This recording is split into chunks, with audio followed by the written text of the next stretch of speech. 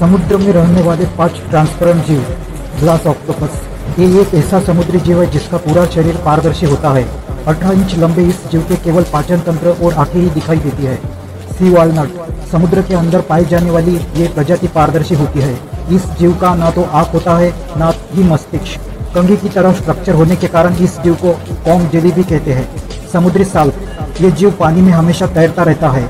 समुद्री साल्प बेहद ही अनोखा जीव है। जिनमें न केवल जंतुओं, बल्कि पौधों जैसे गुण भी होते हैं, क्योंकि इस जीव में गिल्स और बिल दोनों पाए जाते हैं।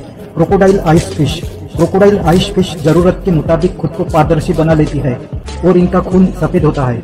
ग्लास फ्रॉग पारदर्शी शरीर वाले इस मेंढक की पीठ चमकीले हरे रंग की होती है। मेंढक की ये प्रजाति मध्य और दक्षिण अमेरिका के जंगलों में पाई जाती है।